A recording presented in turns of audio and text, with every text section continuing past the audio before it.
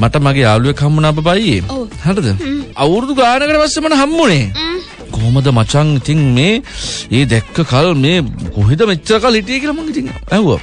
මෑන්ස්කින්. මිනිහා ඉතින් මට කියන්නේ කොහෙ ඉන්නද මචං ඉතින් ආය මොනවද මචං මම දන්නවනේ පවුගේ ටික ඉතින් කෙලින්ම රාජමාලිගේ පරවිය වගේ තමයි හිටියේ කියලා. නෑ රාජමාලිකේ වරයා වගේ රාජමාලිගේ පරවිය වගේලු හිටියේ. ආ නියම ලයිෆ් එකක් තියෙන්නද? ආය වැඩක් නැහැ කතා කරලා තින් මං කවා නියමයක් තියනන්නේ යා. ඒ අපි තමා මේ දුක් විඳින්නේ බම් මේ පේනවා නේ මේ අවුරුදු ගානක් තිස් තාම මේ මේ එකම කට්ට කාගෙන මේ කසාදක් බැඳගෙන මේ ඇදගෙන යන යනවා මේ අමාරුවෙන් එහෙමයි මෙහෙමයි කියලා. ඉබ්බල මරුනේ මචං රාජමාලිගේ පරවිය වගේ. ආ මාර ලයිෆ් එකක් නේ තියෙන්නේ. ඈ. උදේ එන්ජොයි කරන්න ඉතින් අවුරුදු ගානක් තිස්සේ. ජීවිතේ ඔහොම තමයි තියෙන තැනටම ලැබෙනවා මමත් හිතුවේ එහෙම තමා.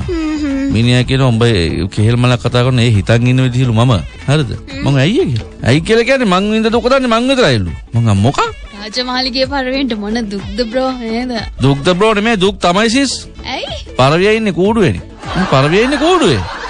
හරිද? ඉතින් පරවිය කූඩු හිටියට රාජමාලිකාවේ පරවෙන්ක කූඩු වල දොර ඇරලා තියෙනවා මම දැක්කා. දොර ඇරලා කොහෙද පරවිය ඉන්නේ කූඩුවේනේ.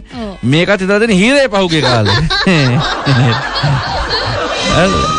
මං ආයේ ඉතින් මං රාජමාලිගේ හිටියා කියන්නේ පර කූඩුව නම් කවන්න හිරේ කියමු මං රාජමාලිගේ කියන්නේ. ඉතින් මං හිරගෙදරත් අයිති රජයටනේ ඉතින් රාජමාලිගයක් තමයි ඉතින් මං රජේ හිරගෙදර තමයි හිටියේ මෙච්චර කාලයක් කියලා.